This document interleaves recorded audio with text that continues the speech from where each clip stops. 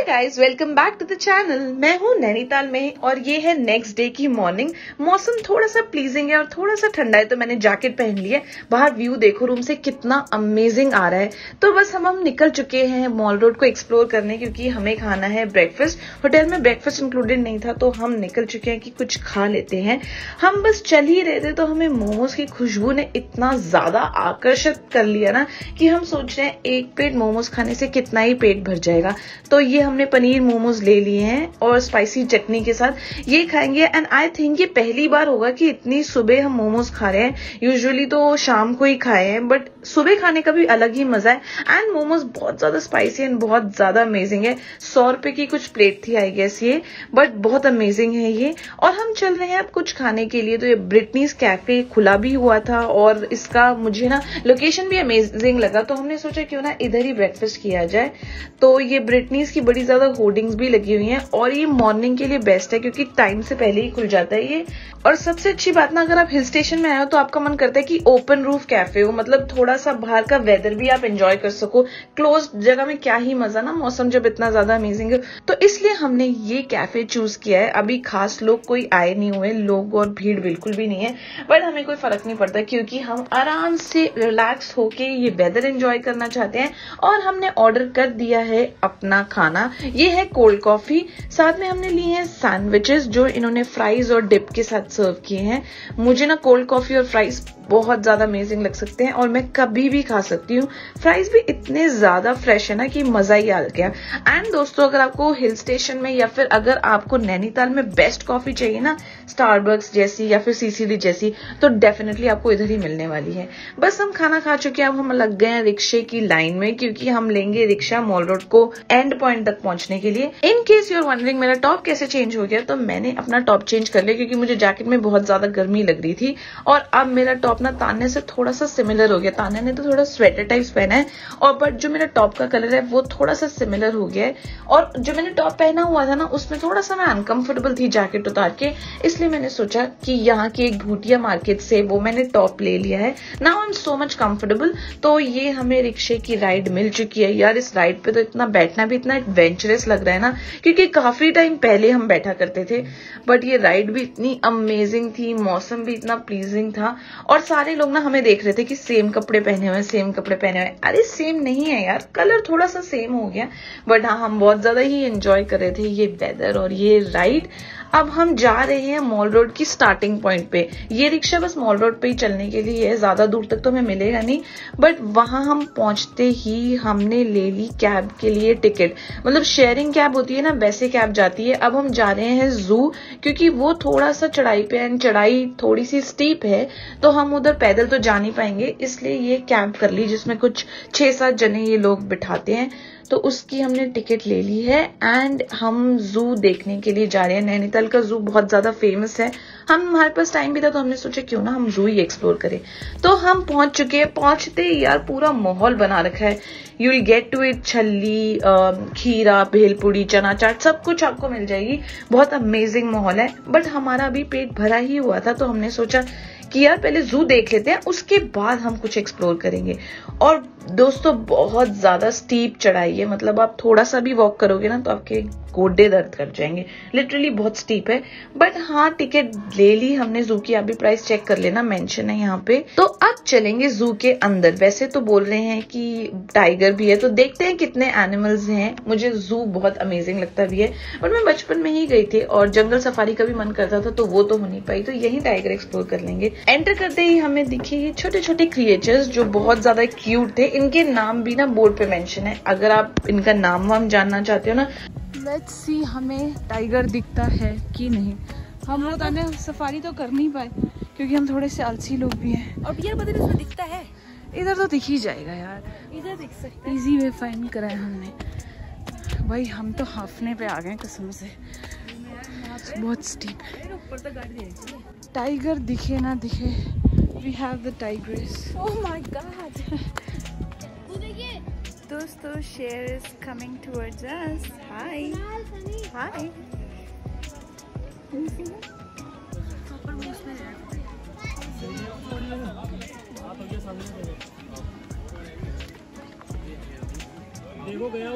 किसी ने बोला कि वहाँ से व्यू बहुत अच्छा आ रहा है टाइगर का या फिर दूसरा टाइगर है आई गेस वो तो एक बार वो भी देख लेते हैं कि वहाँ से अगर पास टाइगर दिख जाए मतलब जूम ना करना पड़े ना तो कितना अमेजिंग हो जाएगा, क्योंकि यहाँ पे भी भीड़ ही है थोड़ी सी सीढ़ियाँ चढ़ के हम गए हैं। तो देख लेते हैं, अगर हमें टाइगर का व्यू मिल जाए तो वाई नॉट मैं आपको एक बार दिखाती हूँ, पहले खुद देख लूँ।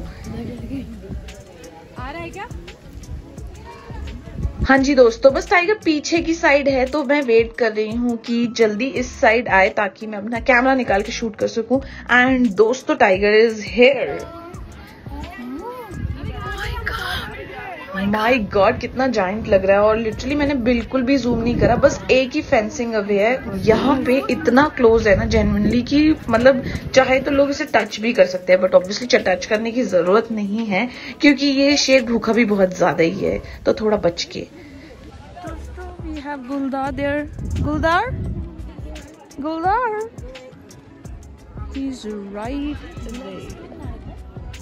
यहाँ पे क्यों नहीं दिख रहा है? स्विंग तो ठीक है।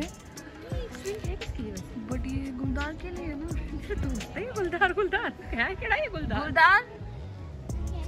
देख देख। स्लीपिंग लेपर्ड अभी लेपर्ड भी सो रही है। हम आए हैं इनको स्पेशल देखने और ये सो रहे हैं? मेहमान नवाजी है सच में। मेहमान नवाजी में कहीं खाई ना जाए हमें। Oh. इतना हॉस्पिटल गई गई गई गई। बॉटल जाती है अभी। इतना जूम इन कर रखा है ना मैंने इस पे। तो जाएगा एटलीस्ट हाय सर जी कहाँ? कितने? क्यों? अब्बा क्यों आए? चक्कर? कोई और कोई नहीं है भावनी दराम कहीं और देख लेते हैं कुछ और। ओके बाय दोस्तों सुनने में आए यहाँ पे भालू है पर भालू इज़ स्लीपिंग थोड़ा थोड़ा ब्लैक ब्लैक दिख भी रहा है ना? एंड यहाँ पे डियर भी बहुत है। आई थिंक ये डियर की कोई ब्रीड है आई एम नॉट रॉन्ग तो ये कहीं ट्राई कर रहा था किसी को क्रॉस करने की या कुछ ऐसे इसके भाई बहन बहुत ज़्यादा हैं यहाँ पे। बस अब हम देख चुके हैं जू और यहाँ पे एक रेस्टोरेंट भी है इनकेस इफ़ यू वाना ईट आप खा सकते हो। दिखाना देना। अच्छे वाली देना अच्छे वाली। क्या मसाला वसाला लगाओ? मसाला लगा के देना है? हाँ दे दो। चाट मसाला लगा दो बेटा। इसको तो हाफ़ में कर देना। पैसे दाने पचास रुपए को ले। रुक जा मेरे पास होंगे हाफ़ कर दो। हाँ बेटा कर आ गया वो? ये लो मेरे बेटे। डाल दो आप यहाँ पे। वेलकम मेरे बच्चे थैंक यू दोस्तों, अगर नैनीताल में भी आप दिल्ली को मिस कर रहे हो तो they have got you covered हम जा रहे हैं चांदनी चौक में खाना खाने के लिए। मोमोज मोमोज खा के बहुत ज़्यादा मोमोज ही बन गए हम। अब हम खाएँगे कुछ proper food proper meal let's go to Chandni Chowk. दोस्तों, रुको। अभी मैं दिखाती हूँ आपको कहाँ है। पहले मुझे खुद मिल जाए ना। ताने कहाँ पे है?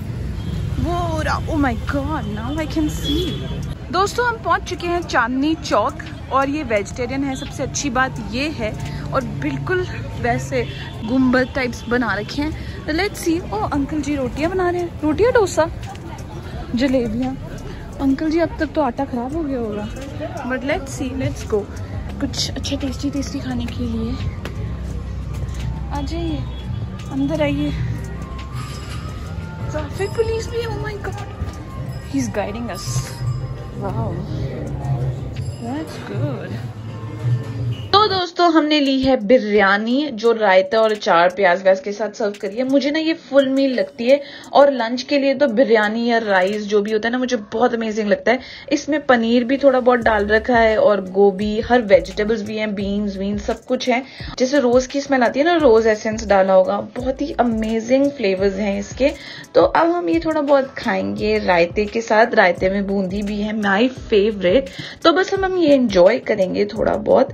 फिर आपसे मिलते हैं। हाँ मैं आपको ये भी बता दूँ कि हमने ये लिया और ये खाने के बाद ही ना ऐसा फील आ रहा है कि काश कुछ मीठा भी हो जाए। क्योंकि मौसम ठंडा हो ना तो मन करता है कि गरम गरम जो इंडियन स्वीट्स होती है ना, वो खाने को मिल जाए। तो बस हमने ऑर्डर कर दिए दो गुलाब जामुन, वो हम खाएँगे।